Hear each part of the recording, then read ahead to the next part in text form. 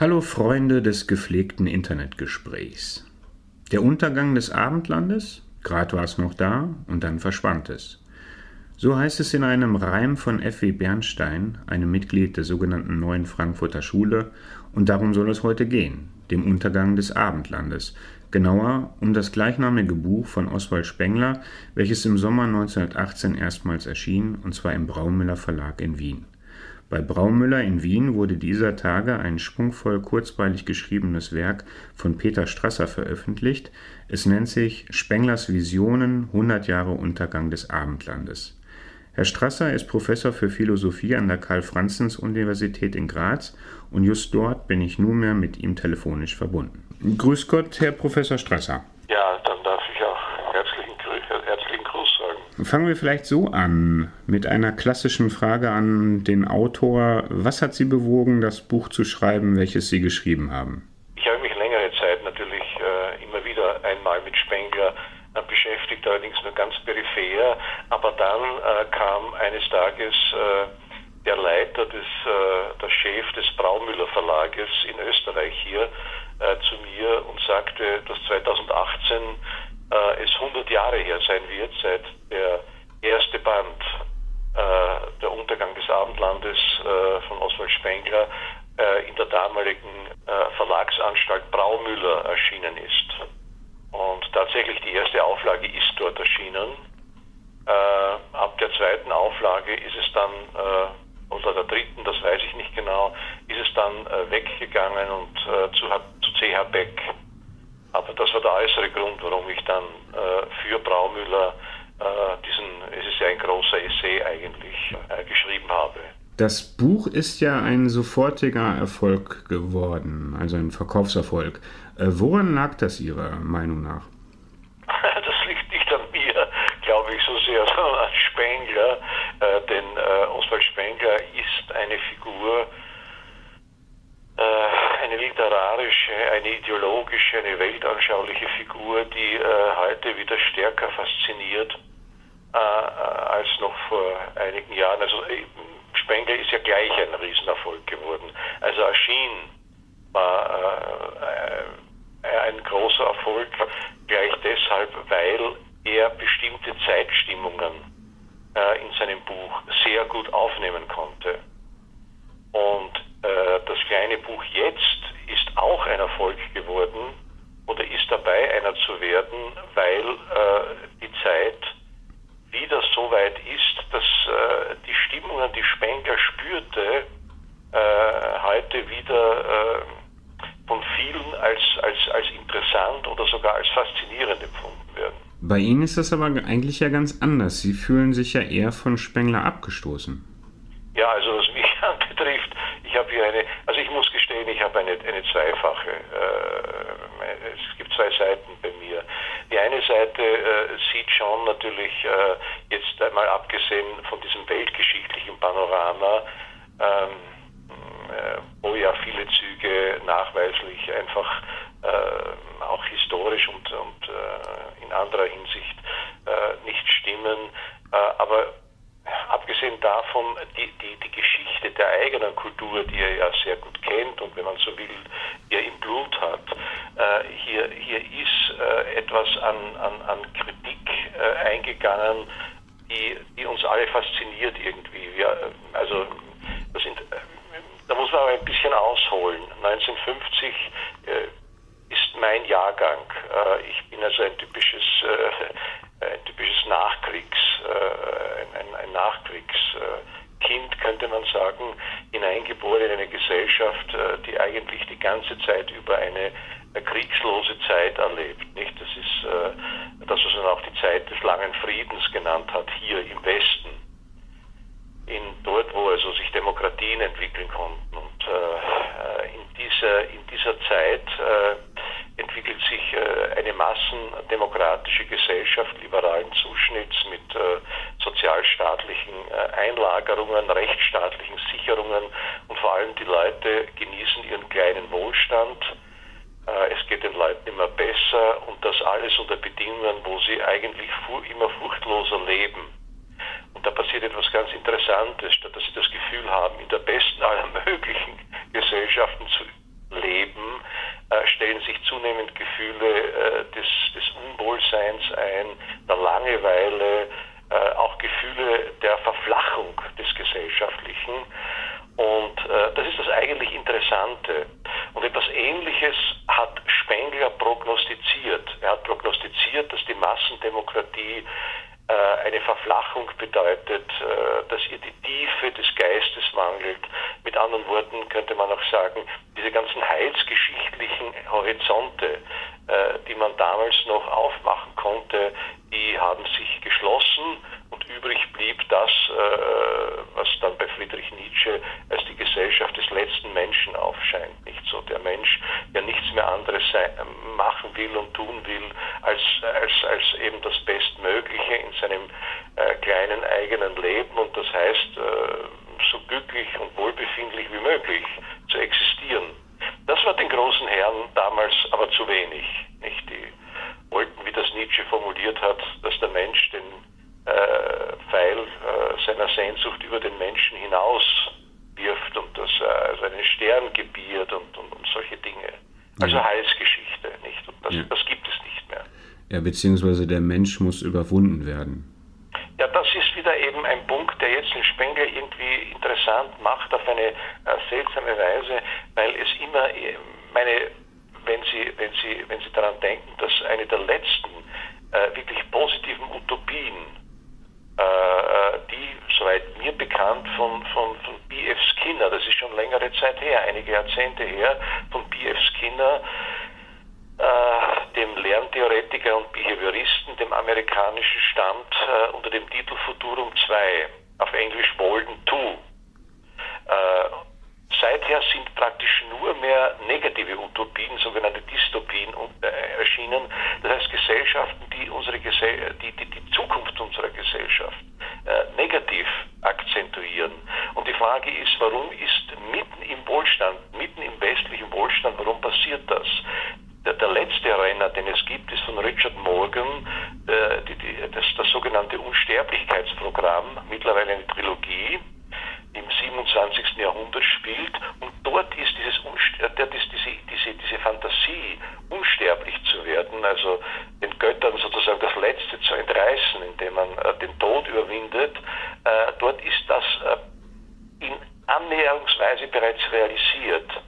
Äh, indem man nämlich äh, sich dieser ganzen digitalen und genetischen Techniken bedient, um das Leben immer weiter zu verlängern. Nicht? Mhm. Äh, das führt aber nicht dazu, dass diese Gesellschaften glücklich sind, sondern im Gegenteil. Äh, da gibt es die einen, die sind unglücklich, weil sie schon zu lange leben, sozusagen die, die, die äh, Methusalems, nicht, die dann 300 Jahre alt sind und äh, wie die biblischen Propheten sozusagen äh, alles sterben sehen haben, ihre Kinder, Kindeskinder, ihre Familien und so weiter und immer neue, äh, Neues, das aber dem Alten irgendwie ähnelt äh, aufbauen müssen. Und dann gibt es die anderen, die sich diese Unsterblichkeit nicht leisten können, denn die kostet natürlich. Man braucht ja dafür, dazu äh, unglaubliche Technologien. Und diese anderen, äh, das ist die große Masse und die vegetiert sozusagen mehr oder minder vor sich hin in einem totalitären Staat, wobei dahin vegetieren nicht das richtige Wort ist, weil es geht ja niemandem mehr wirklich schlecht aber allen geht es trotzdem schlecht, weil sie keine, äh, keinen Horizont mehr haben. Nicht, diese Gesellschaft ist sinnentleert. Äh, man hat zwar äh, ein, ein, Glück, das einem vorgegeben wird von äh, einer mehr oder minder anonymen Macht, der Staatsmacht, in bestimmten regulierten Formen, aber man hat äh, keine, der Sinn des Lebens, keine wirkliche Sinnperspektive tut sich mehr auf. Ja, was ist denn jetzt eigentlich das Abendland für Spengler? Das ist ja nicht das, was, ähm, sagen wir mal, in den letzten äh, zwei Jahrzehnten immer mehr en vogue wird, nämlich das jüdisch-christliche Abendland. Ja. ja,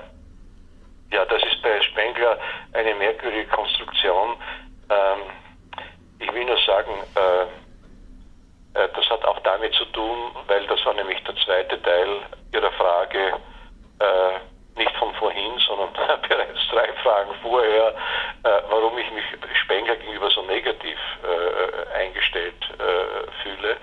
Äh, das hat etwas mit der Ablehnung, muss ich jetzt nachtragen, äh, eben unserer liberal-demokratischen, rechtsstaatlich orientierten äh, sozialstaatlich äh, auch äh, sehr stark bemühten westlichen Demokratie zu tun. Das lehnt er alles ab. Das ist gegen, gegen die menschliche Natur, wie er meint, und er ist ein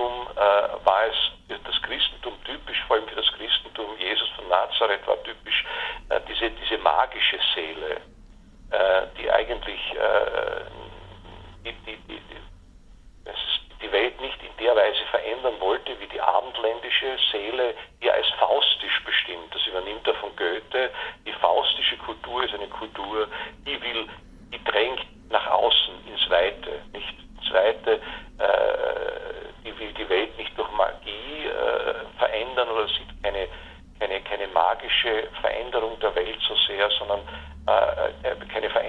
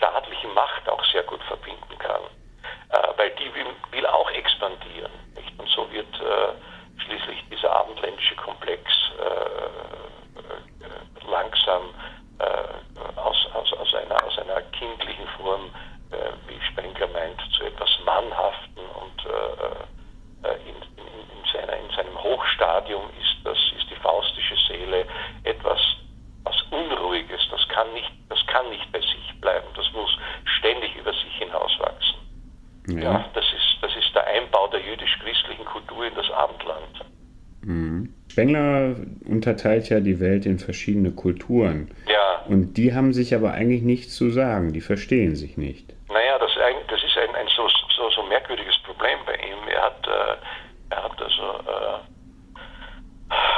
ich glaube, er hat acht oder neun Kulturen, aber äh, wenn wir uns die Tafel anschauen, die im Untergang des Abendlandes angegeben wird, bei den Geistesepochen, äh, da haben wir vier Kulturen, das, äh, die indische, die antike, die arabische und die abendländische Kultur. Kultur. Er hat dann noch weitere Kulturen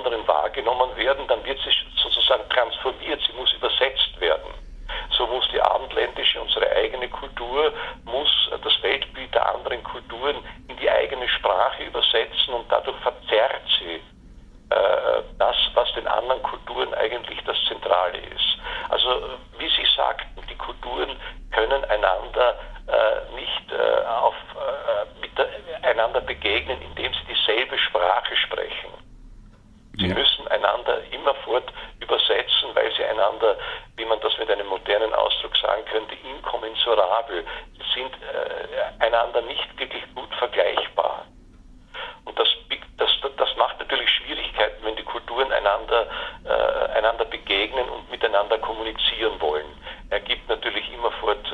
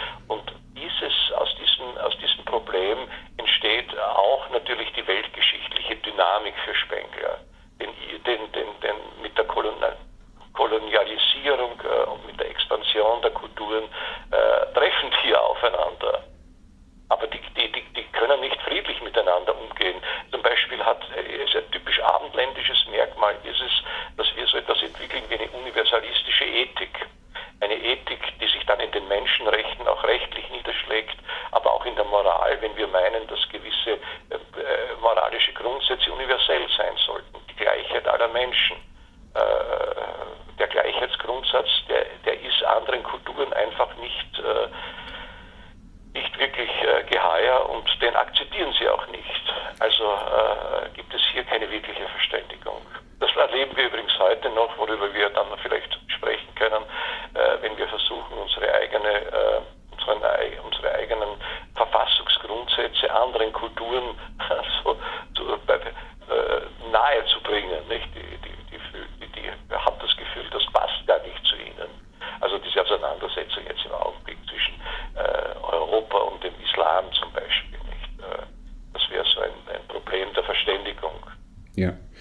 Wenn die Kulturen sich kriegerisch begegnen, dann ist das ja eigentlich nicht etwas, was Spengler beklagt, denn er mag ja den Krieg, er ist alles andere als ein Pazifist.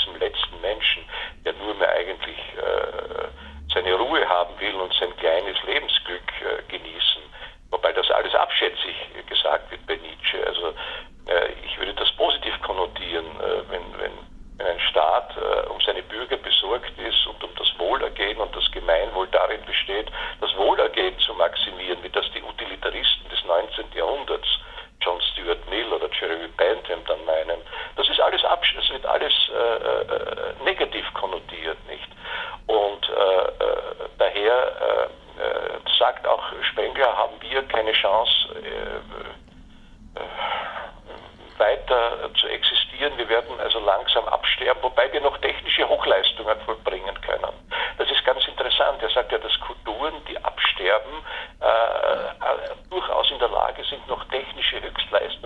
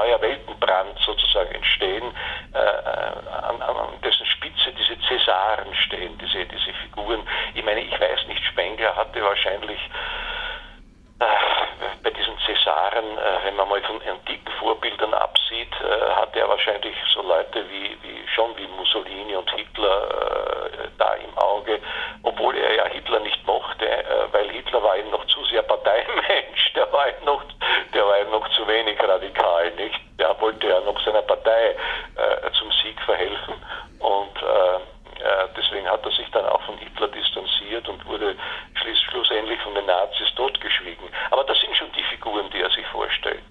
Ja.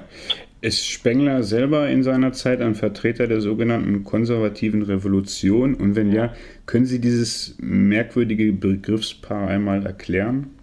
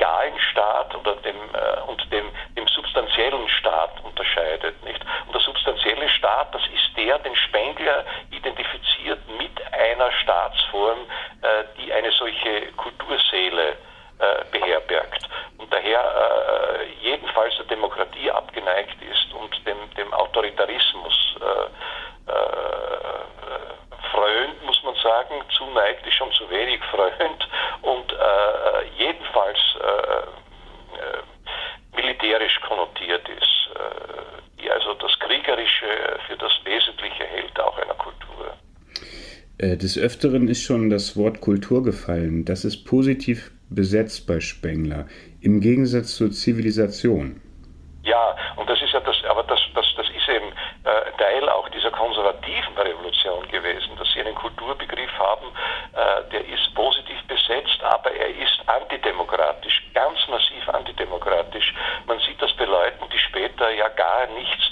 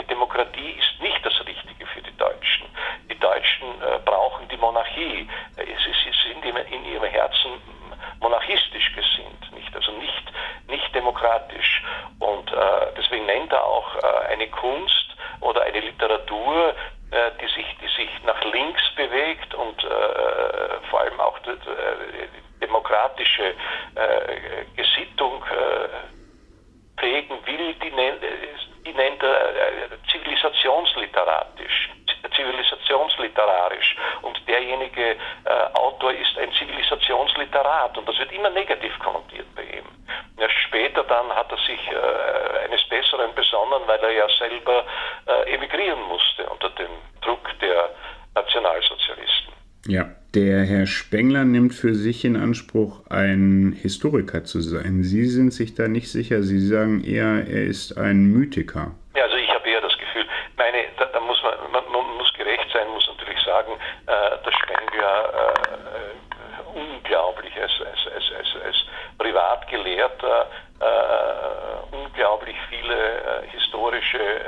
Materialien gesammelt hat, nicht nur aus unserer eigenen, sondern auch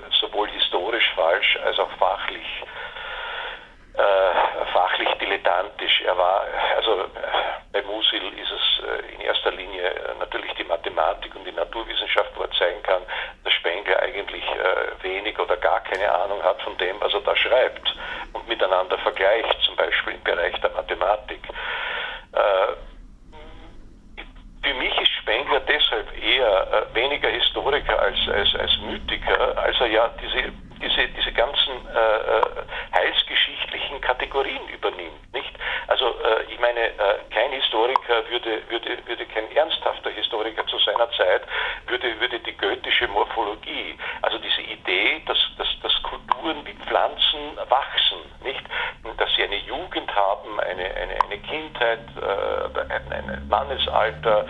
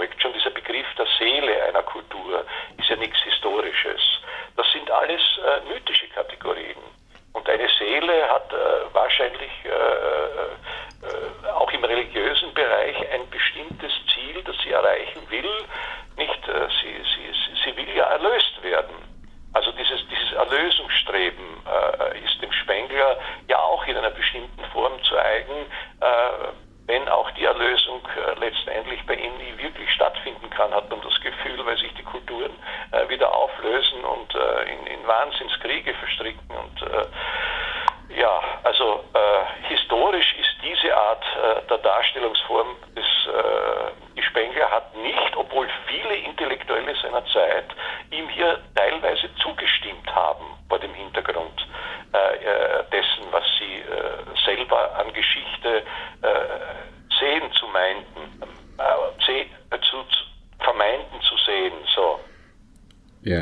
Aber ist der Krieg nicht ein Vehikel zu der Erlösung, beziehungsweise den Menschen dorthin zu bringen, also zu sich selbst?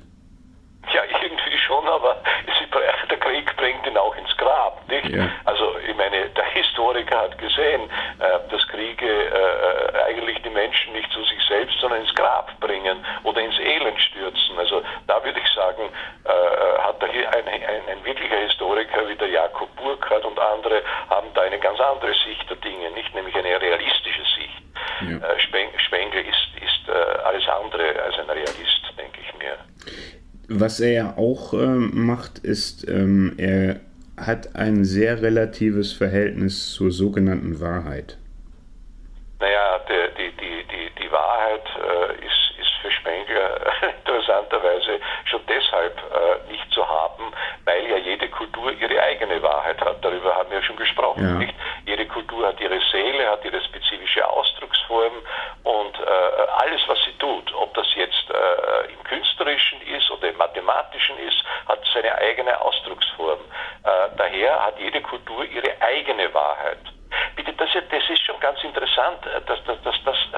dieser Relativismus, den Spengler hat, der, der, der, der äh, erinnert ja sehr an den Relativismus, den wir auch im 20. Jahrhundert haben.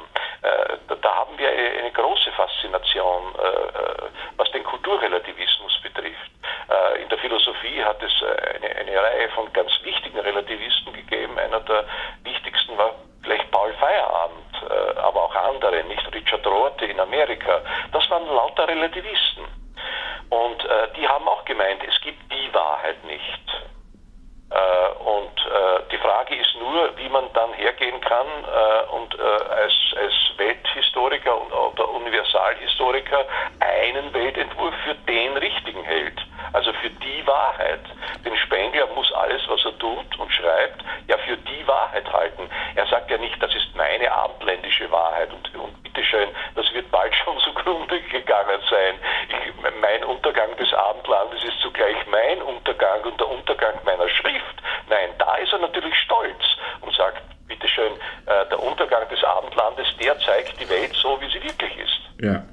Also das muss man ja auch nochmal unterstreichen. Also eigentlich gibt es keine Wahrheit, aber das, was er sagt, ist Wahrheit.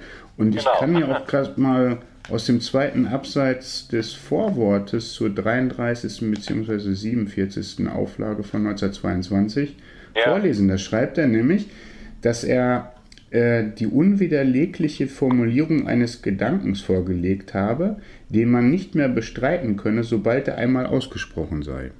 Genau, genau. Das ist also, das ist also wirklich die, äh, die Point des Ganzen.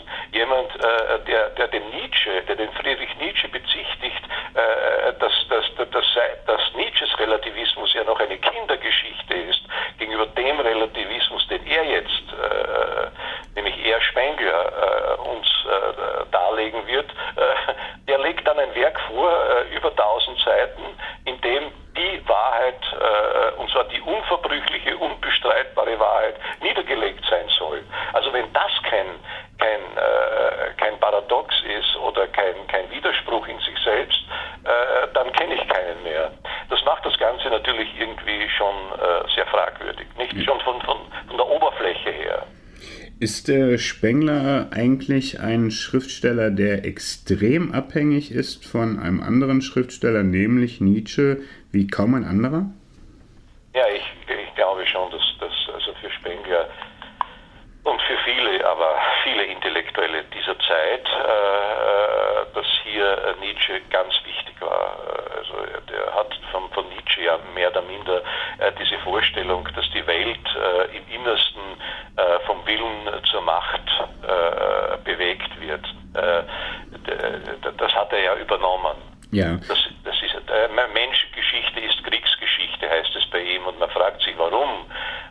ja nicht, ja nicht, weil das menschliche Gen so geartet wäre, sondern, sondern weil es hier wirklich ein metaphysisches Inneres der Welt gibt. Nicht? Und das ist äh, dieser, dieser seltsame Wille zur Macht, wo immer, her, wo, wo immer der herkommen soll. Aber, aber viele, viele haben diesen Willen zur Macht äh, festgehalten. Biologisch dann ist es, ist es einfach die, die Aggression, die uns innewohnt und die wir ausagieren müssen. Ja. Also auch, auch Denker, die man da gar nicht dazu rechnen wollte zunächst, wie Konrad Lorenz äh, mit seinem sogenannten Bösen, das ja viel äh, später dann erst erscheint, äh, ist interessant, dass, dass, dass vom Willen zur Macht bleibt dieser fundamentale Aggressionstrieb, von dem Konrad Lorenz sagt, kein Kunstwerk würde jemals zustande kommen, gäbe es nicht diesen Trieb zur Aggression. Mhm. Glauben Sie, Schopenhauer wird das auch unterschreiben? Ja, der Schopenhauer würde da natürlich, das ist eine aufgelegte Frage jetzt natürlich nicht, weil der hat es natürlich auch äh, irgendwie, äh, irgendwie mit, der, mit, mit, mit, Willen, aber bei, bei ihm ist die Weltseele, nicht, er nennt das ja weniger, weniger den Willen, sondern eine, eine Weltseele und die ist ja buddhistisch gedacht bei ihm.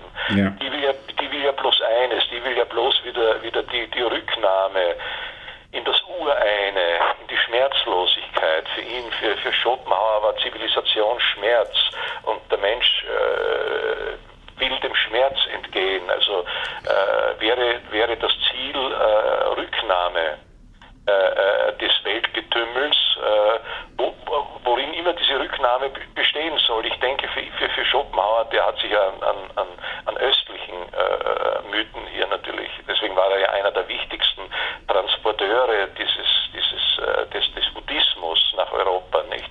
Der hat sich an, die, an der buddhistischen Lehre äh, dass am Schluss sozusagen das Nirvana widerstehen sollte als höchste Form äh, der Ausgestaltung des Seelischen. Und das ist diese merkwürdige, merkwürdige Form dieser, dieser, dieser äh, äh, äh bewusstlosen äh, Glückseligkeit. Nicht? Man hat das, das individuelle Bewusstsein erwischt wieder und trotzdem ist man nicht einfach tot, aus Maus sozusagen. Man ist nicht einfach tot, sondern man geht wieder ein in diese Weltseele, ist allerdings in seiner Individualität nicht mehr vorhanden. Ich, ich, ich, unser einem ist nicht klar, der nie solche mystischen Erlebnisse hatte. Also ich zähle mich jedenfalls dazu, worin eine unbewusste Glückseligkeit äh, bestehen sollte. Ja. Also für, mich, für mich ist Glückseligkeit immer etwas, äh, was ich habe, weil ich ein Ich habe. Also Schopenhauer denkt da ganz anders. Ja, ich frage auch deswegen, weil ich glaube, ähm, es ist ja so bei ihm, dass der künstlerische Akt ein Weg ist, den Willen zu überwinden, also ihn zu ja, vergessen. Bei Schopenhauer. Ja, genau. Ja, also bei Schopenhauer wird der künstlerische Akt äh, zu, einer, zu einer Demonstration dieser, äh, dieser Überwindung äh, des rein Individuellen. Nicht? da an, an allgemeinem durchscheint, das war für ihn vor allem die Musik, nicht? Das löst, also Schopenhauer ist da sehr an der Musik orientiert, das löst, das löst diese, diese, diesen individuellen Schmerz auf und wenn wir Musik hören, so hören wir auch auf, äh, diese Art von, von, von Abgesetztheit zu den anderen zu spüren. Wir merken, wie wir in dieses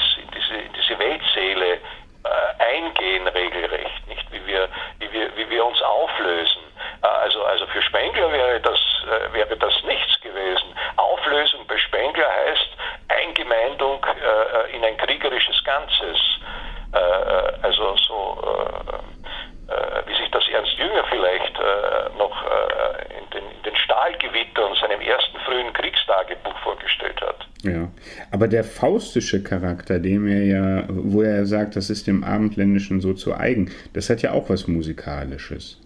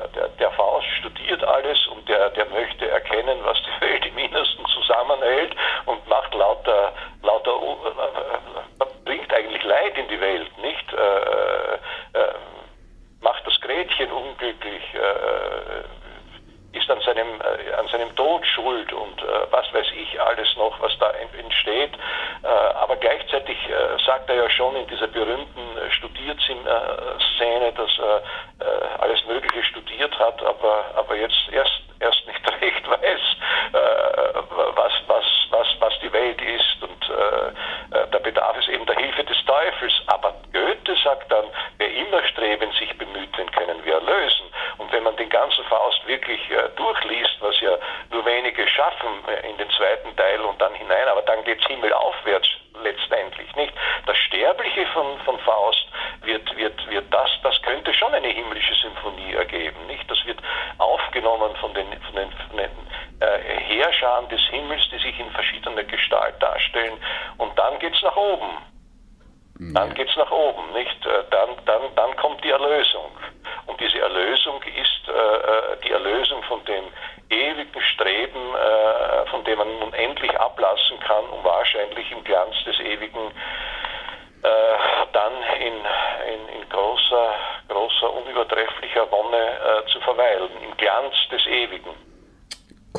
jetzt noch mal ein bisschen zum, zur heutigen Relevanz des Werkes, ähm, der ja. Untergang des Abendlandes. Was ja. geht Ihnen so durch den Kopf, wenn Sie so den Sound hören, zum Beispiel von der bayerischen CSU Abendland Heimat?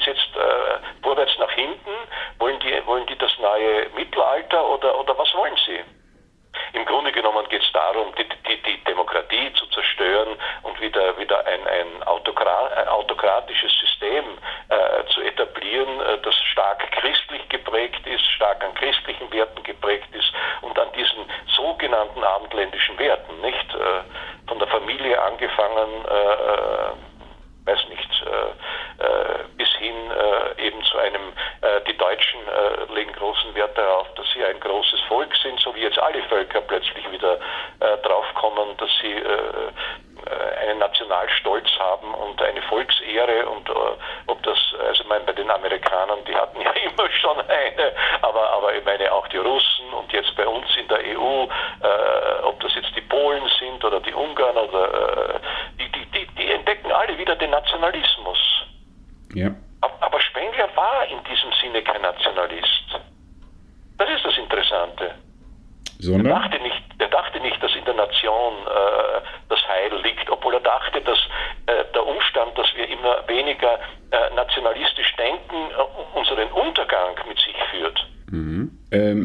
würde jetzt auch gerne noch eine Sache ähm, besprechen und zwar der Spengler, als er das Buch geschrieben hat, ist ja in, hat ja in München gelebt. Ja. Ein äußerst interessanter Ort zur damaligen Zeit.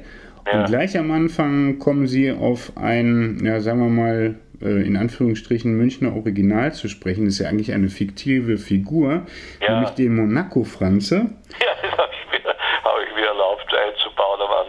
Ja, und da kommen Sie nämlich auf dessen Motto zu sprechen, ein bisschen was geht immer. Und das hat dann sehr viel mit, in Anführungsstrichen, Ihrem Abendland zu tun.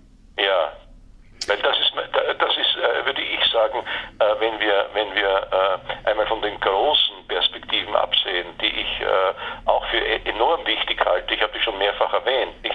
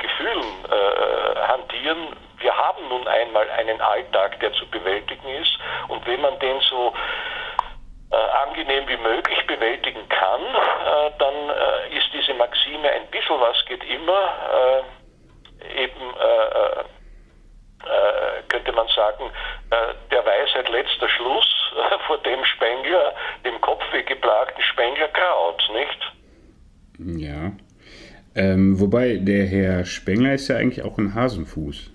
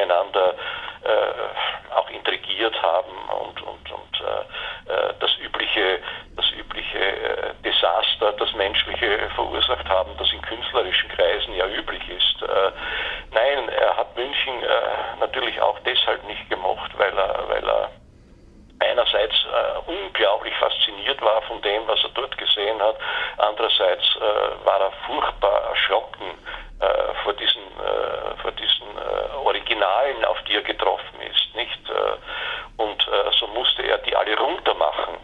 Das war alles schäbig und schändlich und äh, jüdisch und ich weiß, er war, er war kein wirklicher Antisemit in, in dem uns bekannten Sinne, aber da hat er auch nicht Erfolg zurückgeschreckt, das Jüdische an diesen Leuten hervorzukehren. Und äh, bei den Frauen waren natürlich äh, waren es andere Dinge, die ihn äh, irgendwie abgestoßen haben. Ja. Keine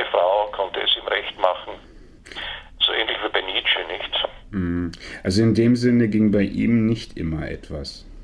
Bitte? In dem Sinne ging bei ihm nicht immer etwas.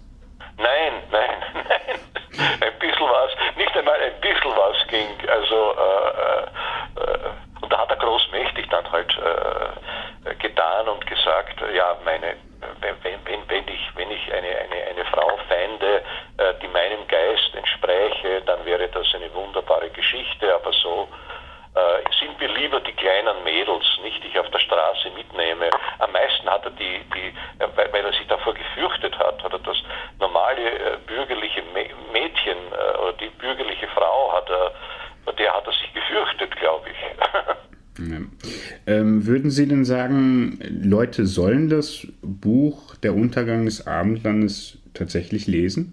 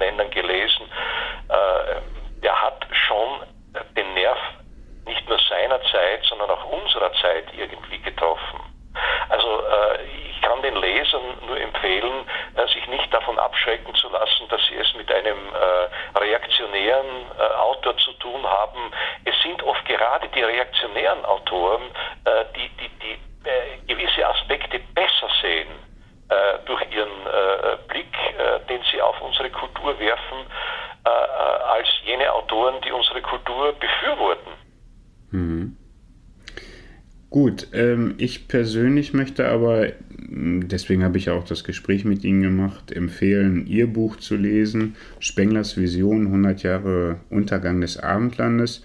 Und damit bedanke ich mich für dieses Gespräch. Ja, ich bedanke mich für den Hinweis auf mein Buch, nachdem wir über Spengler gesprochen haben. Und äh, ja, auch Ihnen alles Gute. Gut, Dankeschön. Tschüss. Ja, und das war's dann, Freunde des gepflegten Internetgesprächs. Ich hoffe, es hat gefallen, das Gespräch mit Herrn Professor Strasser in Graz. Und ich verbleibe mit einem